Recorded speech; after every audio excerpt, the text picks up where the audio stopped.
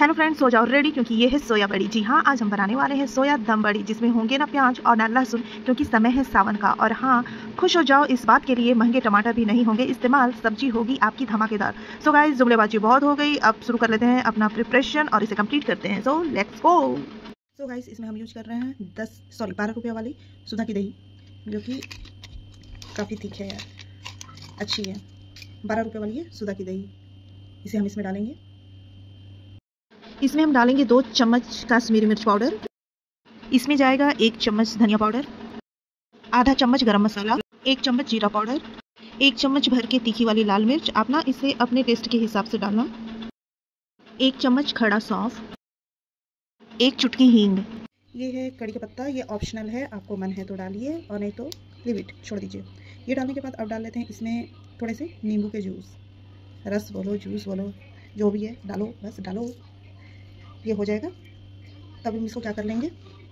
अच्छे से मिक्स कर लेंगे। सॉरी यार, नमक डालना भूल गई। भूल गई थी सॉरी इसमें डालेंगे टेस्ट के हिसाब से नमक। अब डाल लेना अपने टेस्ट के हिसाब से। और इसमें थोड़ा सा पानी ऐड कर लेंगे। और इसे हम अच्छी तरह से मिक्स कर लेंगे ऐसे। बिल्कुल अच्छी तरह से इसको मिक्स कर लीजिए। चलिए, ये हो गया है। और हमारे सोया बड़ी भी भीग चुके हैं पूरी तरह से। अब आगे स्टार्ट करते हैं। मैंने इसे अच्छी तरह से दो तीन पानी धो लिया है। बस इसे दो तीन पानी बहुत अच्छे से धो लेना और देन इसको अच्छे से निचोड़ निचोड़ देना। ऐसे निचोड़ देना और इसे अच्छी तरह से फ्राई करना है हमें। इसमें हम ऐड करेंगे सरसों का तेल थोड़ा सा। ऐसे थोड़ा सा गर्म हो जाए, तब इसमें हम अपने सारे सोया बड़ी डाल देंगे।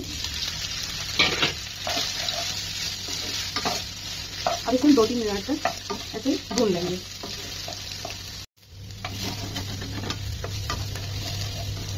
ऐसे ये बिल्कुल हो गया है। हाई फ्लेम पर नीचे बदली भून रही थी। High flame then low flame हो गया, इसे हम क्या करेंगे? एक बर्तन में ऐसे खाली कर लेंगे। और दोबारा हम यही पैन यूज़ करेंगे। फिर से हम वही डालेंगे सरसों का तेल। बिल्कुल, ऐसे डाल लेंगे। थोड़ा सा ये गर्म हो जाए, तब इसमें हम ये खड़े गर्म मसाले डाल देंगे जिसमें चक्री है, खड़ी इलायची, छोटी इलायची सॉरी खड़ी नहीं, बड़ी इलायची, छोटी इलायची देन वही शाही जीरा और गोलकी जो अवेलेबल हो गर्म मसाले में आप डाल लो इससे, अच्छी तरह से। देखो। एक सेकंड के लिए इसे हम ऐसे भून लेंगे जिससे इसका सारा फ्लेवर तेल में आ जाएगा हमारा। जब ये हो जाए, तब हम जो मसाले बना के रखे थे, उसे हम इस टाइम पे डाल देंगे। इसमें आप थोड़ा सा पानी भी ऐड कर लीजिएगा और जितने लगे हुए हैं सारे मसाले, अच्छे से अच्छे करके डाल लीजिएगा। अब इसे क्या करना है, सारी चीज़ इसमें डले हुए हैं, हमें तो कुछ डालने का भी ज़रूरत है नहीं तो इसे हम ऐसे भून लेंगे, लो फ्लेम पे। अब ये देखो, पूरी तरह से तेल छोड़ चुके हैं मतलब हमारे मसाले ऑलरेडी भून चुके हैं। इस स्टेज पे क्या करेंगे ना, हम अपनी जितनी सोया बड़ी है, सब इसमें डाल देंगे।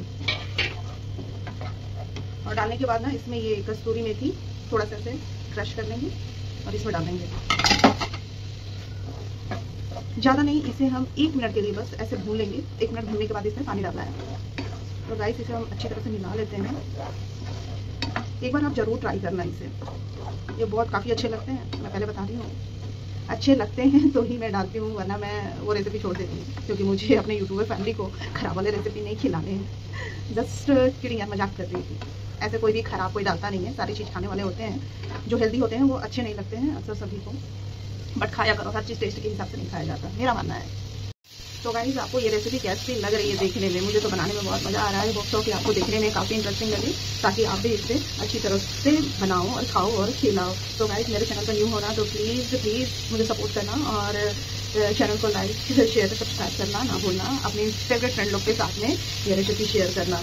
तो गाइज़ देखो, ये भून चुका है, अब इस स्टेज पर डाल देंगे हम एक कप पानी। इसे भी हम अच्छी तरह से मिला लेंगे। सोया बड़ी ना ज़्यादा हो गई है मेरी साथ इसलिए एक कप में नहीं हुआ तो मैं इसमें दो कप पानी डाल रही हूँ। और इसे दो कप पानी डाल के ना मैं इसे एकदम लो फ्लेम पे, एक बार जब हाई फ्लेम पे बॉईल हो जाएगा तो मैं इसे लो फ्लेम पे आराम से ढक दूँगी इसे और पाँच मिनट के लिए इसको कुक होने के लिए दूँगी। तब तक इसे छेड़ना मत ऐसे ही, पाँच मिनट तक आराम से कुक होने देना। सो so गाइस देखते हैं पाँच मिनट बाद। सो लीजिए आपकी ना बिना प्याज, लहसुन और बिना टमाटर वाली सोया बड़ी, यानी सोया दम बड़ी बन के रेडी है। इसमें आप डालिए कटा हुआ धनिया। और तीखा पसंद है तो मेरी तरह हरी मिर्च। और इसे आप अच्छी तरह से मिक्स कर लीजिए। हो गई आपकी रेडी सब्ज़ी। सो गाइस फुल वॉच करने के लिए थैंक यू सो मच तो मिलते हैं नेक्स्ट वीडियो में। तब तक के लिए अपना ख्याल रखिएगा। देन तब तक के लिए bye bye thank you so much